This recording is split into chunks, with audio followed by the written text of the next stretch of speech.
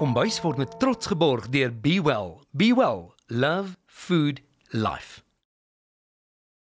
Man, kyk, as jy die kaas het, dan moet jy hom vat. Maak gebruik van die kaas en in hierdie geval die kaaspot. Baie opgewonde oor wat chef Henny Fischer vir ons vandag gaan maak van die departement voedsel en verbruikerswetenskappe van die Universiteit van Pretoria en hy's daarom nou klaar gemerk vir die jaar, klink dit vir my. So nou het hy kaas om vir ons kaas te kom maak binne in 'n pot. So, wat noem ons hierdie?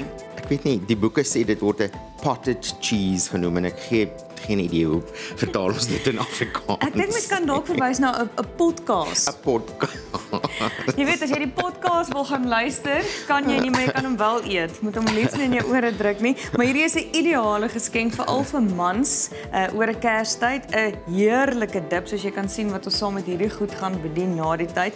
Um en hy't baie lekker goed binne hom eintlik heel eenvoudig om te maak en voordelig vir almal wat oorskiet kaas Daar's hy, het so in die- hierdie feestyd. Die resep is eintlik 'n dingetjie wat gemaak is vir al die ou blokkies kaas wat oorbly. Ek weet nie of enige iemand kaas het wat oorbly en hulle huis nie maar. Maar jy weet nou na groot funksie, hy. ehm dan het 'n mens baie keer nog ons blokkies kaas wanneer jy ontslae wil raak en hier het jy drie verskillende So soorte. hier's in. twee wit cheddars in en 'n bietjie gouda, maar daar kan blou kaas inkom, bokmelk kaas, enig regtig eintlik enige ding. En Ja. hierdie is so bietjie soos groot mens cheese bread. Ooh, ek Ja. hoor jou en dis net regte kaas. Dis net So hoe regte kry jy hom kaas. dat hy soos 'n spread is? Ja, so ek ek het dit maar net fyn gerasper en dan is daar verskillende resepte hierdie een wat ek vandag doen is so 'n bietjie 'n um, tribute aan een van my kos idols, C. Louis ja. Leipold. Leipold. Leipold. Ek dog hy het En- net strooi gepraat. Ek het nie geweet hy het kos ook. Nee, nie strooi nie, ekskuus, hy het baie sin gepraat. Baie sin gepraat.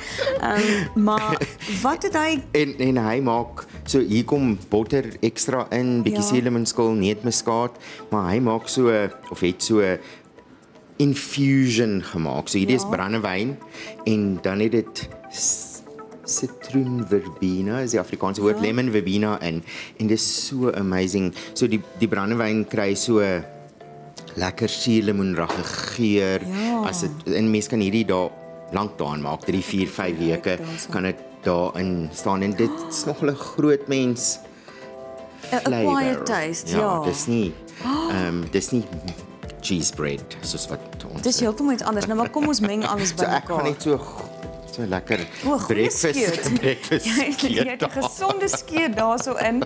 Ehm en dan 'n suurlemoenskil en suurlemoensap en botter en neutmuskaat, sout en peper. En dan eh, wil ek vir ons graag voorlees hierso.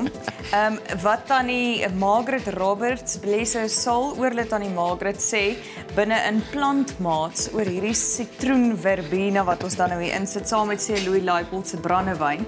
Sy sê 'n koppie sitroen verbena tee sal spanning, hoofpynne, depressie, senuweetoestande, angs, hartklopings en selfs hartseer en seer kry verlig. So as jy nou 'n koppie tee daarvan maak of jy sit dit dan nou in jou baie dekadente kaas smeer wat jy vir iemand as 'n potkaas kan gee oor Kersfees, um, dan gaan dit hopelik 'n bietjie hartseer wegvat oor Kersfees. Dit nie ongelooflik nie.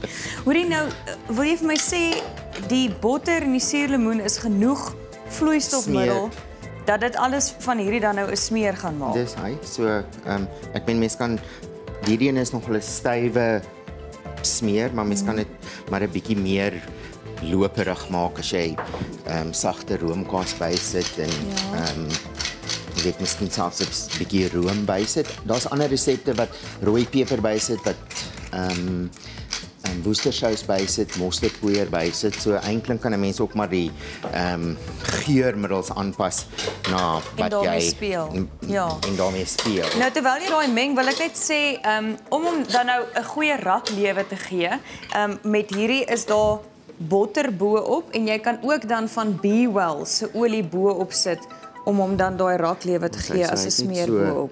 So laagie. Um, Dis wat op, jy sodat hy soos met jou lewerpatees. Ja, sy. Nê? Nee? So. Ja. hierdie en En jy meng net alles bymekaar. Mense kan seker maar dit met die voedselverwerker ook doen as dit nodig is. Ehm um, maar werk heeltemal fyn in die menger. En ons